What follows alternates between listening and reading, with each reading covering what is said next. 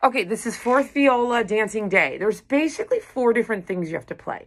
In the beginning, you play this one, two, three, four, and one, two, three, four, and if you can, I would like you to play it in third position on a two. And then make those um, little bouncy.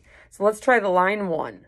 One, or you can play open. One, two, ready, go. One, two, bouncing. Three, bouncing. Lift your bow in the bouncing. Bouncing. You have to go all the way to the frat frog. Great. Okay, now this thing goes.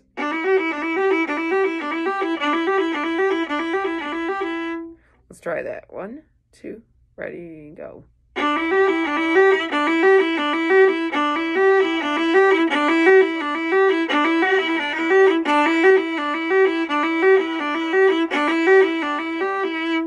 Yeah, so that's that. And then it goes back to the bouncing thing. Then it goes back to this. I think that, to me, that sounds like a little babbling brook. You know, it's like a little water.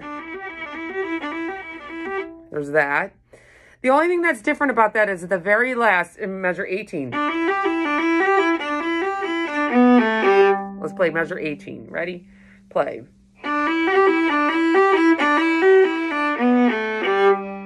Okay, so then now you have this thing at 19. So the uh, let me demo it. It goes up, up, up. Wait, sorry, I played it wrong. So if you think down, up, up, down, up, up, down, up, down, up, up. Ready? One, two. So it's two and then one. Ready? Go.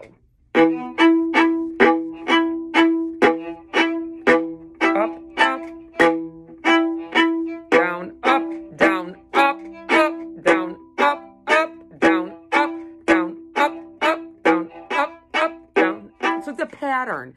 It's, you know, it's down, up, up, down, up, up, then dif different. Down, up, up, down, up, up, different. Down, up, up, down, up, up, different. Try it one more time. One, two, ready, go.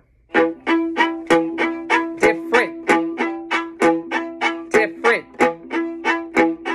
Different. Okay, and then, then you get to 27. It's the same as the beginning. 31 is the little babbling brook part. Let's play the end, so 35. So one, two, three, four.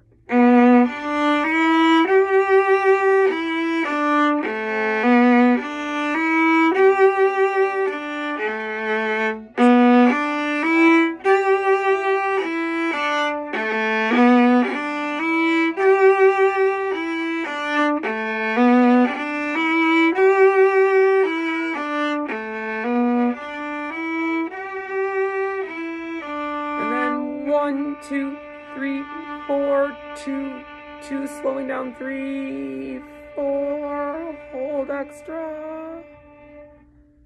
And that's the end.